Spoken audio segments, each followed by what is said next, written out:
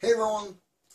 I decided to give the Nerf Hyper Blaster line a second chance to see how or if they improved over time. And between you and me, I had absolutely no idea this blaster existed up to three days ago. So today, here's my review of the Nerf Hyper Impulse 40. I'm old Nerf guy. Welcome to Tag.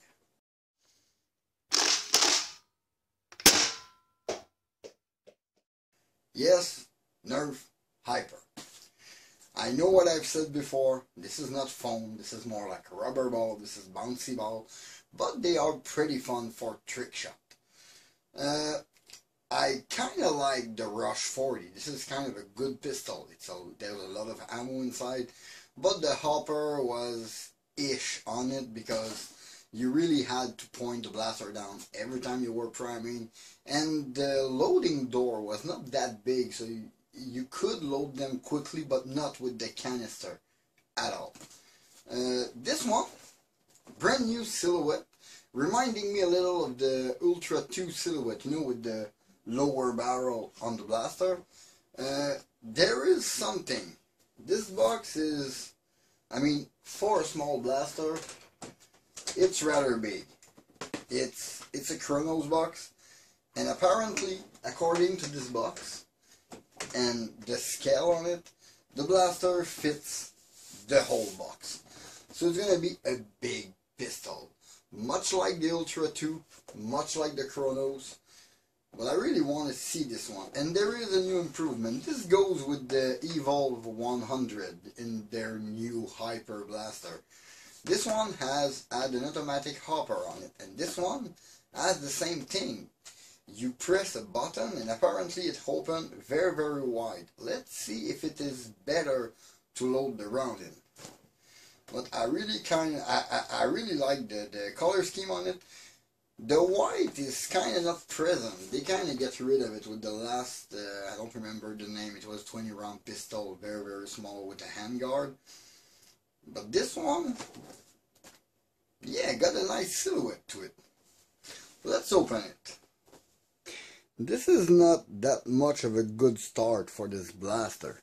Because I just realized this is the Impulse 40 with a 40 round hopper and like most of the rest of the Hyper series, there is only 30 round coming, coming with it, meaning there is not enough to fit it all the way maybe to prevent jamming because that was uh, some issue with other blaster. Huh, let's not lose any more time and open this blaster up.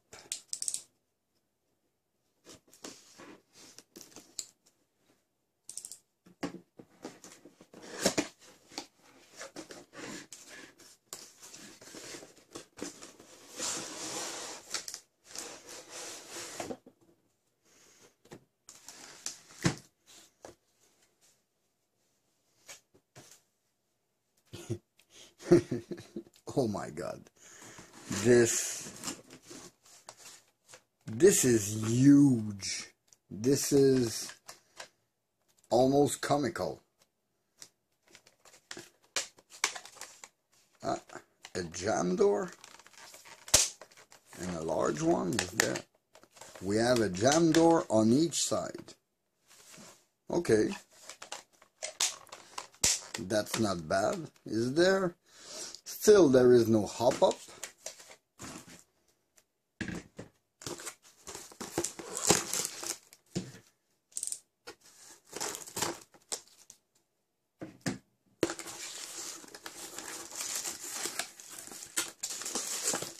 The round, the instruction, and ooh, goggles. Yeah, I like that. So in that box, we have the Impulse Blaster itself. And I gotta say, look compared to my hand, this thing is huge. Uh, remind me still a bit of the Ultra 2 for the shape, but this thing is huge. Still got a firm prime. Some instruction. Uh, safety glasses that seem to be real safety glasses. Hmm, that's cool. I'm gonna test them out. in another video. And the 30 rounds. Yeah, they don't give you 40, they give you 30. Let's load that thing, shoot one or two, and then we'll go for the full chronograph. Oh, that's the, and it doesn't open. Cool. Oh, okay, you just go from one side and it's ambidextrous. Oh, that's neat. That can be very interesting to open your hopper. And I think this is to be an easy fill. Yeah. Okay, that's an improvement. They really improved that. Now, let me make sure there is around it because as for the blaster fill, I would have to say this. The blaster have a very smooth finish, very good quality, but it feel a bit thinner. Again, uh, cutting a little corner to cut cost. That's okay, that's the rule of the market, I guess, but this is not, maybe not on par with the first line of Hyper that they released.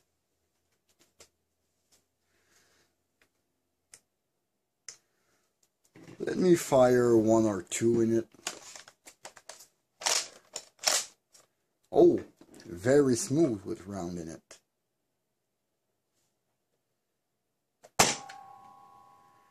A hundred and fifteen point four.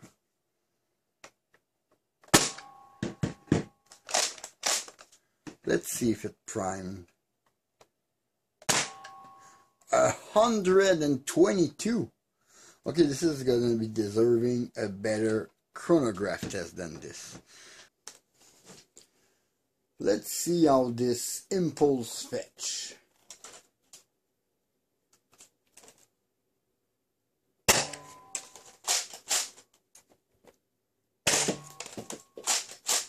I just hit myself.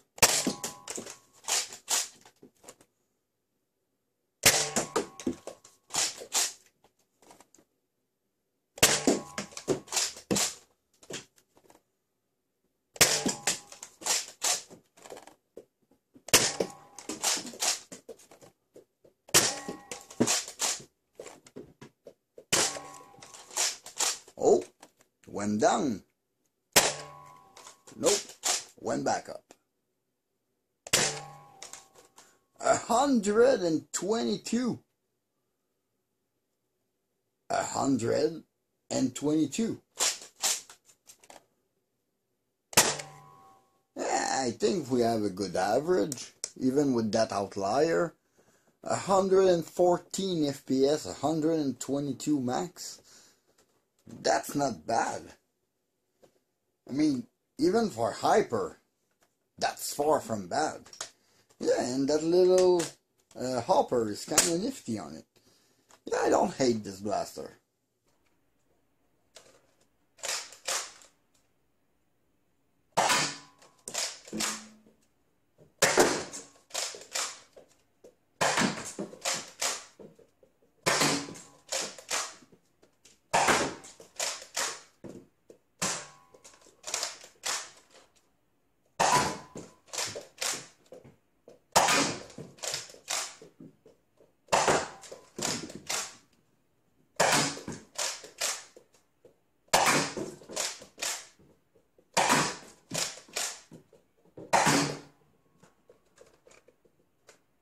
The Nerf Hyper Impulse 40.